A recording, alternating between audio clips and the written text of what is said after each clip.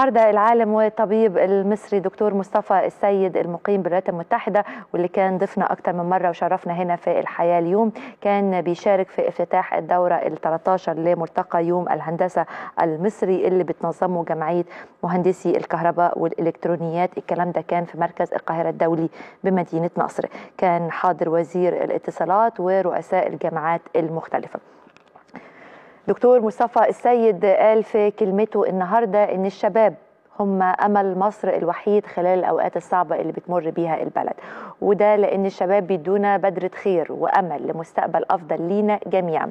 واتكلم كمان على تكنولوجيا النانو طبعا والشغل اللي عمله الدكتور مصطفى السيد في مسألة جزيئات الذهب متناهية الصغر لاستخدام الكلام ده كعلاج للسرطان ويدي أمل ويفتح يعني طاقة نور لكل المصابين والملايين المصابين واللي ربنا ابتلاهم بهذا المرض. رجع وقال برضو دكتور مصطفى السيد إن كل ثورات العالم ظلت لمدة طويلة حتى وجدت الطريق الصحيح التي تسير عليه وإننا دلوقتي لازلنا في بداية الطريق لكن مش عايزين نكون زي فرنسا اللي فضلت في وضع غير مستقر لمدة 20 سنة لغاية ما ثورتها نجحت. فعاليات الدورة الثالثة عشر لمؤتمر وملتقى يوم الهندسة المصري انطلقت بتنظيم جمعية مهندسي الكهرباء عددا من الشخصيات العامة. على رأسها العالم المصري مصطفى السيد شاركوا طلاب الهندسة الفاعلية. وشرح للطلاب الخصائص البلازمية وبعض تطبيقاتها في مجالات الطب والهندسة وخاصة مجال النانو تكنولوجي مصر في معامل already أبحاث في النانو تكنولوجي جميلة جدا وفي أنا افتتحت هنا في القاهرة ثلاث معامل بالأجهزة اللي محتاجينها للنانو تكنولوجي نفسها. فيعني ال ال ال إحنا مش متأخرين ابدا في الموضوع ده.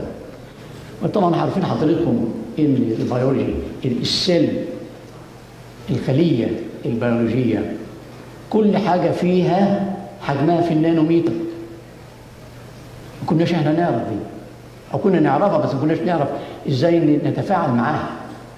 فإحنا لو نقدر إحنا نعمل مواد في في نفس الحجم ونحطها في أي حتة في الخلية نقدر نعمل حاجات جميلة جدا.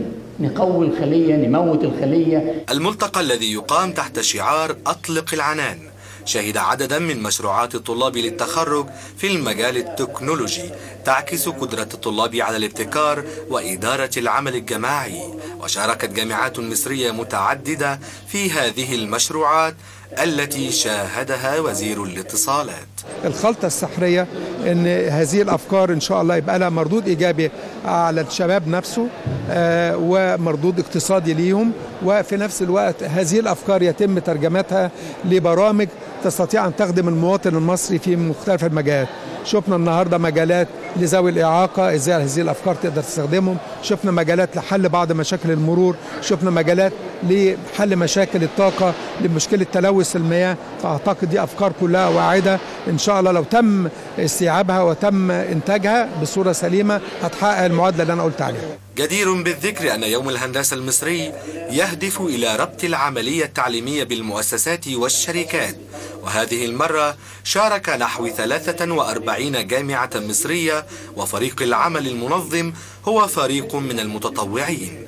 الأعمال التي يقدم يوم الهندسة المصري تحاول سد الفجوة بين الباحثين والمهنيين والجامعة للاستفادة أكثر بالخبرة والابتكار. وكما يقولون كله خدمة وإثراء للصناعة الوطنية.